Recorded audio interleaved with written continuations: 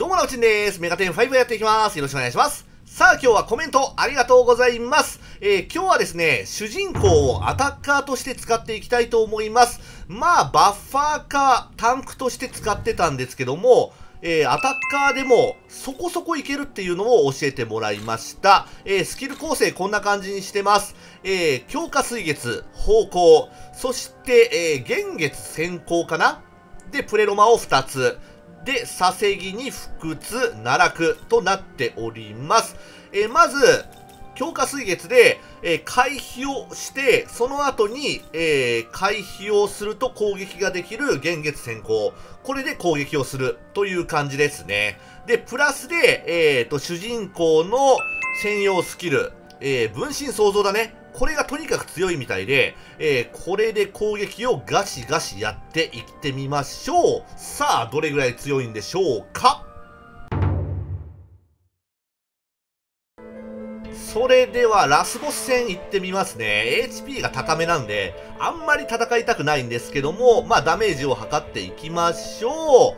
えー、っと、創生のノーマルレベル999となってます。まあ、ノーマルだけども、結構 HP は高めです。で、まず、主人公で、これ、分身創造を使います。えーと、次に使う攻撃スキルが、4連続で発動しますね。これがとにかく強い。で、すぐに攻撃はしない。すぐにしないんですよ。で、えーと、ナホビホは、ユニークスキルのマガツキ節約ですね。えーと、スキルを使った時にマガツキの、えーと、ゲージがわずかに減少するっていうやつ。なので、えーと、もうナホビホはいりません。チェンジしてあげましょう。ブリトラだね。ブリトラの、えー、と狂乱の宴によって、えー、もともと4回ヒットだった攻撃が、まあ、6回ヒットする可能性が出てきますので、まあ、ブリトラで OK だね。でゲージを貯めなきゃいけないんですよ。マガツキゲージを。なので、このターンは、えバフ、デバフをしっかりと入れていきます。えーと、ランダマイザー。で、主人公で、方向だね方向だわ。うん。主人公が、えっ、ー、と攻撃を回避してくれないといけないからね。まあ、強化水月を使えば確実にしてくれるんですけども、まあ、今回は使ってまいて、うん、うん。このターンで使って、回避すれば OK だね。で、ブリトラは OK。で、この花咲夜を、えーと、ゼウスに変えます。なぜゼウスが必要かっていうと、えー、ゼウスのマガツキスキルですね。スキルが重要になってきますので、ゼウスをチェンジしました。で、ベルゼブブももう必要ありませんので、えー、交流だね。えー、交流のユニークスキルで、えー、攻撃回数が増えれば増えるほどダメージが上がっていきます。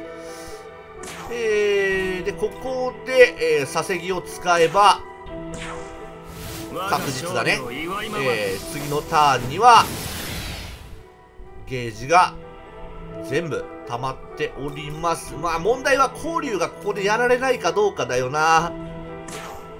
うん。交流がちょっとやられないようにしてほしいんですけども。まあまあ主人公に攻撃向いてくれるでしょう。OK 完璧です。準備完了。えー、と主人公は現月先行を使うことができますね。でラ乱舞じゃない。こっち。聴力かな？これを使って、えー、チャージ効果が解除されなくします。OK でこれで4回連続攻撃する、えー、分身創造だね、えー、それが解除されないのでこのターンに2回使うことができる。で、さらに言うと、えー、その次のターンでも1回使うことができるので、かなりいいでしょう。まあ、ラスボスだからどれぐらいダメージ与えれるか分かんないですけども、まあ、とりあえずいっとけ。どんぐらいいく？先行のごとし。一発2000か。あでダメージはどんどん増えていくからね。先行のごとし。うんあでも1万1万1万1万って言うから、まあ、確実に4万以上はダメージ与える。4万以上。でそれをえっ、ー、と3回できるか。12万。あ12万与えれればえこれ十分じゃない？ねも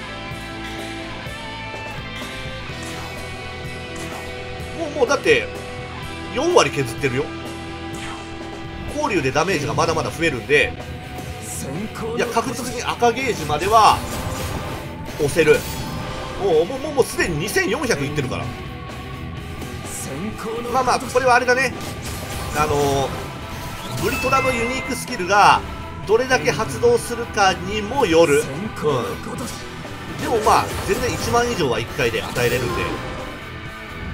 全然 OK いやラスボスにねここまでダメージ与えれればいや十分ですよ。十うわ強くない？もうこんなんですよ。こんなん。う。んこれで倒せるんじゃないいや無理か。さすがに。うんうんうん。無理無理。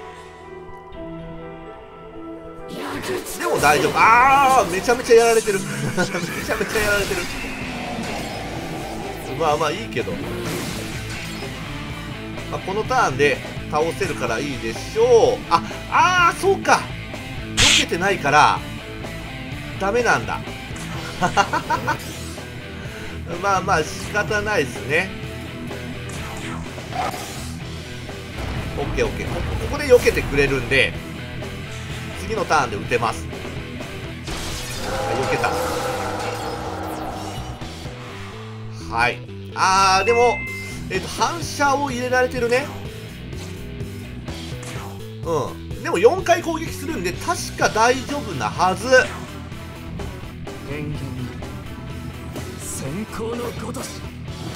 ここはまあまあ反射されるわ。うん。大丈夫。であと残り3回は反射されないでしょ？オッケー。あこれ倒したわ先行のごとしおいいんじゃないですかこれはい、ということで戻ってきました。今日はコメントありがとうございます。主人公をアタッカーとして使ってみましたけども、十分強いですね。まあ、準備が結構必要になります。うん。まあ、準備は必要だけども、えー、っと、自在荒幅機に比べると、そうでもないし、まあ、使いやすいかなと思います。うん。でもこれね、仲間を結構、うーん、育成しないといけないので、まあお金はかかるんですけどね。うん。でもまあ、なかなか面白い戦い方かなと思いました。はい。これなかなか良かったですね。はい。ということで、またやっていきます。チェックをよろしくお願いします。そして、チャンネル登録と高評価もよろしくお願いします。それではご視聴ありがとうございました。